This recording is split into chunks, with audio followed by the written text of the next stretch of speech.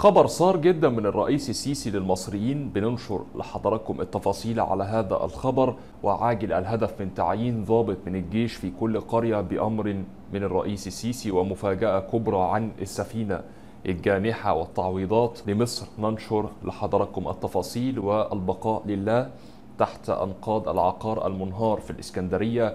بننشر لحضراتكم التفاصيل. في البداية صلى على الحبيب محمد قبل ما نبدأ في تفاصيل الأخبار اشترك في القناة من زرار الاشتراك الأحمر. أسفل الفيديو ده مهم جدا عشان تجيلكم أهم الأخبار واضغط على زرار ال like عشان توصلك فيديوهاتنا أول بأول. عاوزين نوصل 2000 like على هذا الفيديو. قبل ما نبدأ في الأخبار اللي بيحب مصر وطني فعلا يفجر التعليقات بكلمة تحيا مصر وانتوا وطنيين وقدها نبدأ في أول خبر معانا وهذا موضوع يعني أنا حابب أتكلم فيه وخبر سار من الرئيس السيسي للمصريين. يعني إحنا عارفين ولو مش عارفين أحب أعرف حضراتكم إن مصر فيها 450 دار أيتام بيتم فيهم رعاية حوالي عشرة آلاف يتيم. وكانت أكتر وأكبر مشكلة بتقابل الطفل اليتيم هو إنه لما بيتم 18 سنة بيخرج إجباري من الدار اللي هو عاش طول حياته فيها على الرغم من إنه بيكون لا يملك أي سكن. الشيء الجميل بقى إن في توجيه من الرئيس السيسي توفير وحدات سكنية بالمجان وجاهزة بالكامل لأي طفل يتيم يخرج من الدار بعد ما يتم 18 سنة. التوجيه راح وزارة التخطيط لدراسة آلية تطبيقه والمبلغ اللي هيتم تخصيصه واللي هيكون مبلغ كبير جدا بالمناسبة. وتم اختار وزارة التضامن الاجتماعي اللي هتكون بدورها مسؤولة عن حصر أعداد الأطفال دول والتواصل معاهم وكمان تم اختار بنك ناصر الاجتماعي اللي هيكون مسؤول عن الشق المالي للموضوع. وقريب إن شاء الله هيتم بدء التحرك في تنفيذ التوجيه على أرض الواقع. الحقيقة أنا مش مستغرب من التوجيه ده بعد قرار تحمل الدولة تكلفة علاج مرضى الضمور العضلي وعموما مفيش حاجة هتبقى غريبة على دولة صرفت 40 مليار جنيه لانتشال 240 ألف أسرة من المناطق العشوائية الخطرة ونقلهم لمساكن حضرية بالمجان وده شيء جميل وقمة حقوق الإنسان الحقيقية.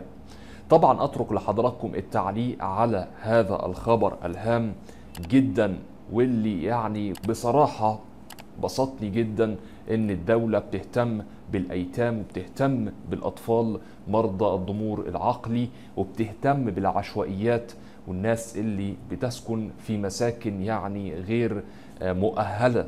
يعني ده شيء جميل وأتمنى ان أنا أشوف الأفضل دايما بإذن الله لبلدي وأترك لحضراتكم التعليق على هذا الخبر. لو حضرتك جيت للجزء ده من الفيديو ما تنساش اللايك والاشتراك في القناة من الزرار الأحمر أسفل الفيديو ويلا ندخل على تفاصيل الأخبار. ننتقل مع بعض الخبر آخر في منتهى الأهمية وعاجل الهدف من تعيين ضابط من الجيش في كل قرية بأمر من الرئيس السيسي. في مصادر كشفت عن سر طلب الرئيس السيسي تعيين ضابط من الجيش في كل قرية.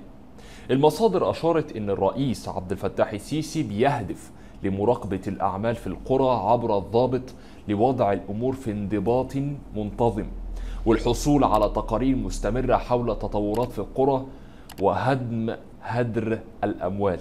بمعنى إيه هدم هدر الأموال؟ يعني محاربة الفساد. يعني بالخطوة اللي الرئيس السيسي هيعملها إنه يعين ضابط في كل قرية هيحارب هدم هدر الأموال وهيحارب الفساد.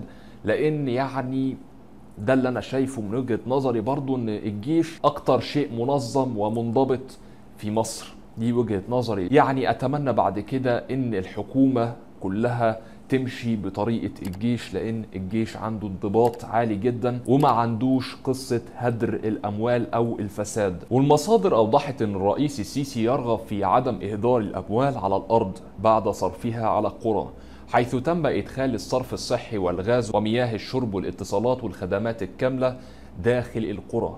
وهناك رغبة في عدم تدهور الأمور. الرئيس عبد الفتاح السيسي كان طالب القوات المسلحة خلال مؤتمر بتعيين ضابط من كل قرية لمتابعة التطورات والإنجازات ضمن مبادرة حياة كريمة لتطوير القرى المصرية. الرئيس عبد الفتاح السيسي قال بقول للجيش هل ممكن يبقى فيه لكل قرية ضابط مسؤول عنها؟ ونشوف هيعملوا إيه ونصور وهنوري للدنيا كلها. اوعى تزعل يا دكتور مصطفى ونشوف مين هيعمل حاجة حلوة لأن المصلحة واحدة. المصدر معانا كان من RT عرفنا دلوقتي الهدف من تعيين ضابط من الجيش في كل قرية بأمر الرئيس السيسي. ده الهدف وهو محاربة الفساد أو يعني إن الموضوع يكون منضبط بشكل يعني صارم جدا. ده شيء جميل جدا لإنجاز هذا المشروع العظيم في مصر ولتطوير القرى والريف المصري. ننتقل لخبر آخر معانا ومفاجأة كبرى عن السفينة الجانحة والتعويضات. ننشر لك التفاصيل الآن. الفريق مهاب مميش مستشار الرئيس عبد الفتاح السيسي لمشروعات محور قناة السويس قال إن قضية تعويضات السفينة الجانحة ستحل خلال أيام قليلة. وقال إن قناة السويس تتيح حرية الملاحة للجميع إلا في حالات معينة كأن تحمل سفينة على متنها مخدرات أو سفينة في حالة حرب معلنة ضد مصر. أوضح أن السفينة إيفر جيفن ستنطلق إلى محطة وصولها الأخيرة خلال الأسبوع الحالي مشيرا إلى أنه لا يجوز الحديث في تفاصيل قضية التعويضات لأنها ما زالت مطروحة أمام القضاء المصري. مصدر معانا كان من RT. إذا السفينة إيفر جيفن يعني القضية بتاعتها تتحل خلال أيام وإحنا كنا ذكرنا من قبل قيمة التعويض اللي مصر ستحصل عليه من السفينة وهي تقريبا في حدود ال 500 مليون دولار.